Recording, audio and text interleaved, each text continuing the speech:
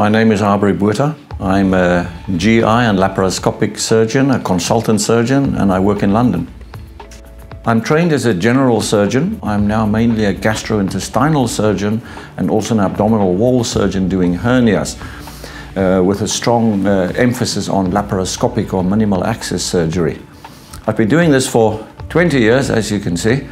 So uh, uh, in the beginning I was more general, also did colorectal and other uh, abdominal procedures and therefore have been from the beginning involved when laparoscopic surgery started in this country and I've seen the technological evolution over the years.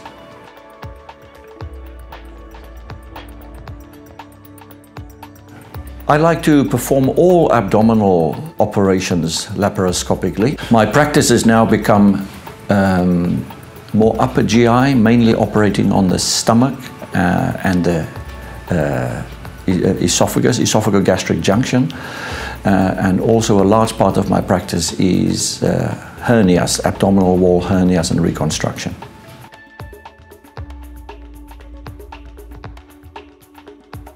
I prefer 3D now to 2D laparoscopy for all procedures. So if I have a choice, I will do 3D for everything. Uh, we have uh, sometimes limited availability and then I have to do procedures in 2D, but that would not be my choice.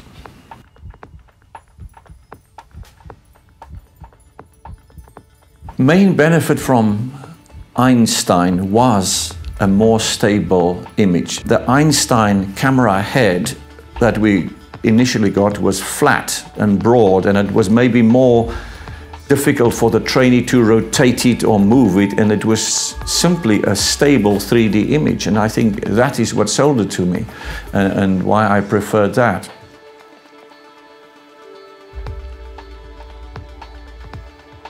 I uh, sometimes have five cases on my list and all five are laparoscopic.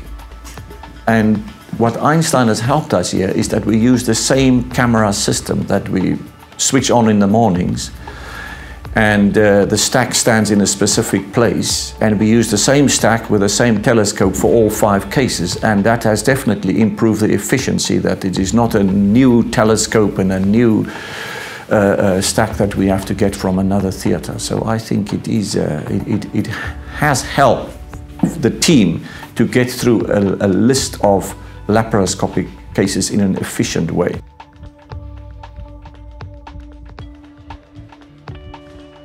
I think the heated tip is definitely good. I think it is an irritation for surgeons to have to clean the lens. And so to have a stable uh, image, and I have now done several operations with the Einstein system where I don't take the camera out once, where we fix the camera, have it heated, and do the whole operation of an hour and a half without taking the camera out once. And that is very nice.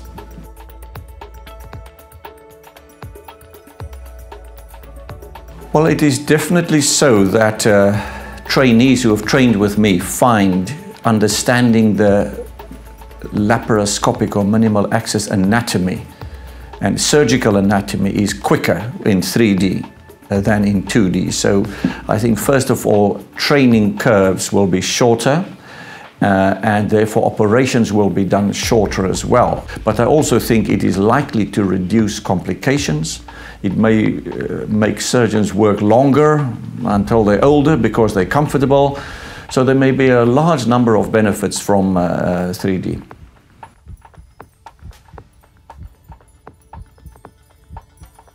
Uh, think the depth perception is everything uh, in surgical dissection, uh, particularly if you dissect in more difficult areas, such as in my specialty, dissect in the, uh, in the hiatus, where you have the aorta on one side, the IVC on the other side, the lungs on the other side. And all these organs are close together. So to get a 3D perspective where that you have one or two centimeters to the aorta and a centimeter this side. It just increases comfort for the surgeon and I think safety for the patient.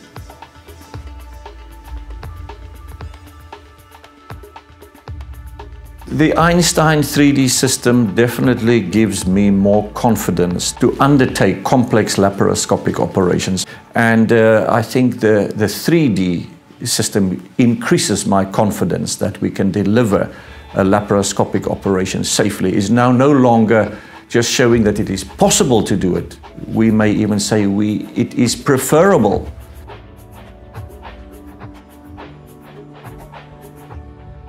Yeah, um, you know, I've been asked by a number of surgeons how I overcome the lack of 30 degree angulation with the B. Braun system because in upper GI and in pelvic surgery, which is uh, where I operate, almost all operations are done with a 30 degree telescope. And the benefit of the movie, movable telescope is that you could see around corners. But I think this, the see around corners is a unique problem for 2D, where you feel you can't see what's going on and you want to see around the corner. But I somehow find if you have the image in 3D, it's very rare to want to look around the corner because you the whole image is in 3D. So if I try to think in the two years that I've been using the Einstein system, how many times I've asked the camera to be rotated so that I can get an angulated view, I would say probably twice. And then it simply wasn't a problem. Whereas when you operate in 2D, you are constantly moving the telescope. I think it's to give you an additional angle uh, to compensate for the fact that you have the image in 2D.